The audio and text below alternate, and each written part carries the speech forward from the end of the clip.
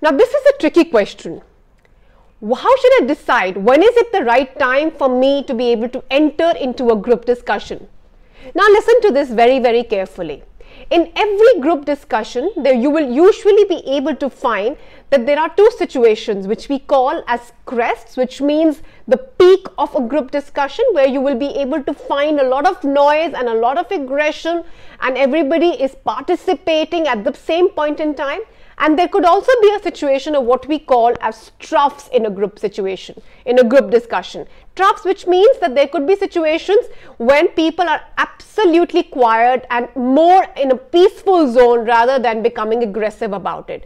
Now, you will be able to find that in an opinion seeking topic or in a controversial topic, there would be more situations of a crest, which means that their group and the discussions would be more lively, would be more aggressive. It might probably be a little difficult for you to be able to get that chance at that point in time.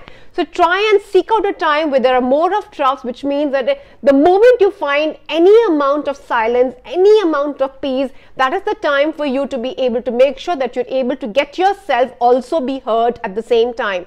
Now in abstract topics, what happens is that in abstract topics, you will be able to find a lot of times, a lot of troughs, a lot of peaceful zone. Why? Because people are still trying to figure out what is it that you, they need to speak. At that point in time, make sure that you're heard, your visibility is well seen. So the best time to participate in a group discussion is of course needless to say when it's a situation of a trough. Again, a very important question I'm going to address here. Does it make a difference and is it important to be the first speaker in the group? Now listen to me carefully on the same.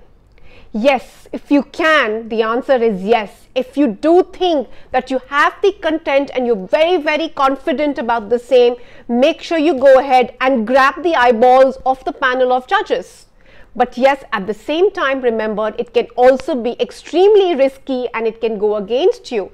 If the amount of information that you probably are able to furnish is not substantial or is losing some credibility, some authenticity, that make sure that it can actually go against you and it will be remembered for a longer period of time.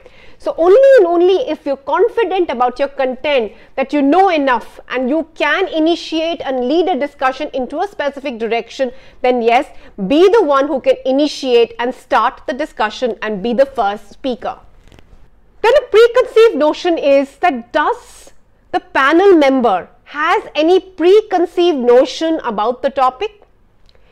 So see, we are all human beings and the answer lies in the same, which means if we are human beings, the moderator, which means the panel members, are expected to be absolutely neutral without any bias.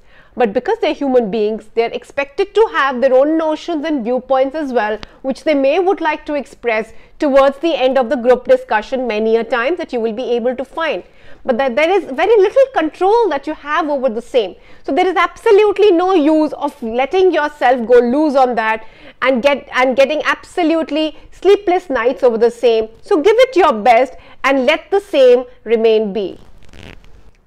Now, there are some situations in group discussions where we see that the participants themselves are given across a choice to be able to find out a topic of group discussion in the first two minutes, be able to identify that topic for themselves as a group discussion among about 8 to 10 participants and then start the discussion for the next 8 to 10 minutes.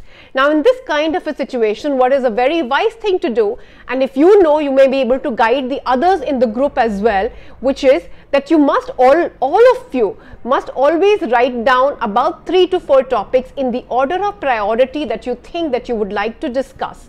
And then once you've been able to do that, discuss it along with all the group members and that any that one or two topics which you think have been common and most of the people have been able to identify that out and have given across the maximum vote is something that you should be able to prioritize and pick it up right in the beginning because that is where you will be able to see that most of the members in the group will find their comfort level to discuss on the same.